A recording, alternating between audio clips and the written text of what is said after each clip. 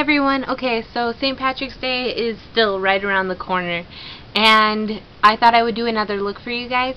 My other look is very green. Very, very green. And if you don't want to go that green or if you work somewhere where you can't really go that far with the green and still uh, be regarded correctly, like if that's too out there for you, here's a natural green look that you can wear almost anywhere. You could wear it to the office and you would still have green on and it would still make your brown eyes pop if you have brown eyes or any other eyes would look amazing and you can you can tone it down so it will be natural. I'm going to be taking my 88 warm palette as you can see here and I'm going to be taking um, my flat shader brush flat shader brush and I will be taking this color right there. It's it is C6. It is C6. It's a little shimmery color. It's like a sage and it's not that encumbering of a grain to where oh my goodness I have a tree on my eyes.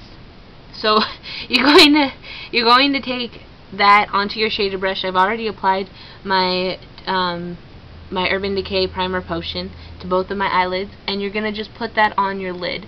It's a very sheer shimmery color so you might want to put a little bit more onto your brush and swoop it across your eye.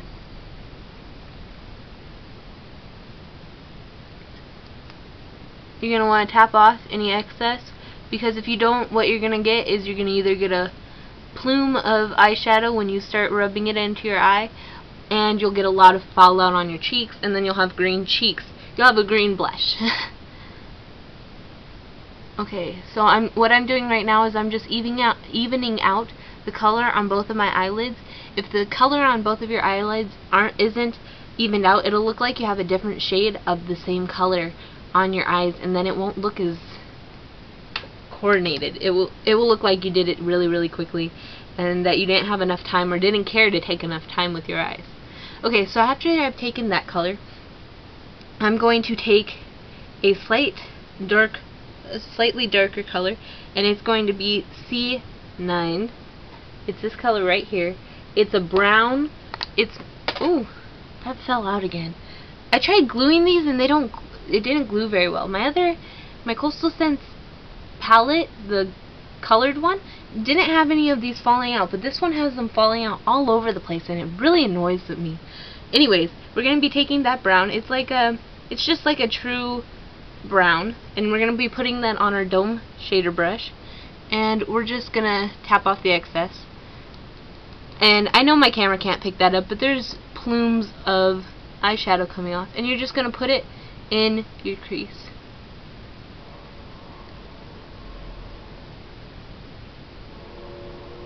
And you're going to work it into your crease and you're going to get all the way to the corner of your eye right here and I just do windshield wiper motions through my eye. You can do the circle motions if you want. I just find that the windshield wiper motions don't hurt my eyelid as much as the other one do, uh, does. So now I'm going to do the other side. Oh, I didn't put enough.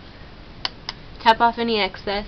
And you'll know that there's excess on all of your brushes once you wipe it into the eyeshadow uh, because it just doesn't stick to your brush as well.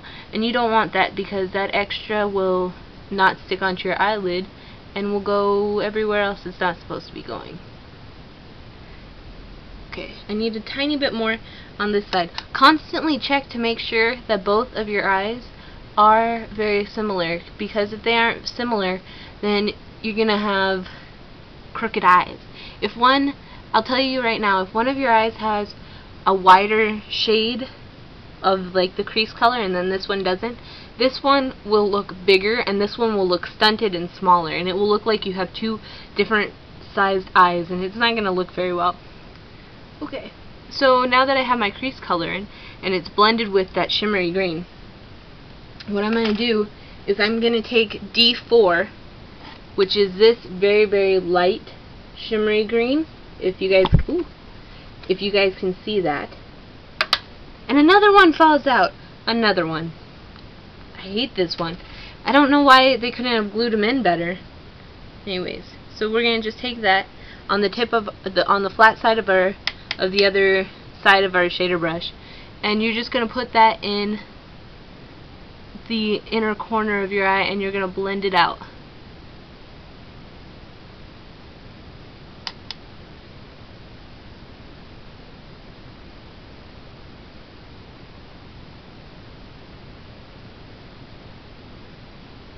What putting a color in your inner corner does is open up your eyes so that they look larger than they are. And since I have brown eyes, it's going to pop, uh, make my brown eyes pop along with um, making my eyes look bigger because brown and green are complementary. So here is the finished look. You're going to also want to put your eyeliner and your mascara on. I sort of did it backwards. I already had my eyeliner and mascara on from earlier. So uh, you're going to want to put that on now. Usually I don't go backwards, but I didn't feel like wasting more of my product so that I could show you. And I'm pretty sure all of you know how to put mascara and eyeliner on. Make sure that you put it on your waterline and on your, uh, your tight line, which is the inner um, upper lid line, so that it looks like your eyelashes are fuller without needing to put that extra liner on the top of your eyes. If you feel like it, you can put that extra liner on top of your eyes, but I don't like doing that. Anyways, this is the finished look. It's a brown, shimmery, pale green that you can wear to work and or to the office and no one will really mind. So, I hope you guys are all going to have a great St. Patrick's Day. Do you guys punch or pinch when someone isn't wearing green? Comment below and tell me. And please subscribe. Thanks. Bye.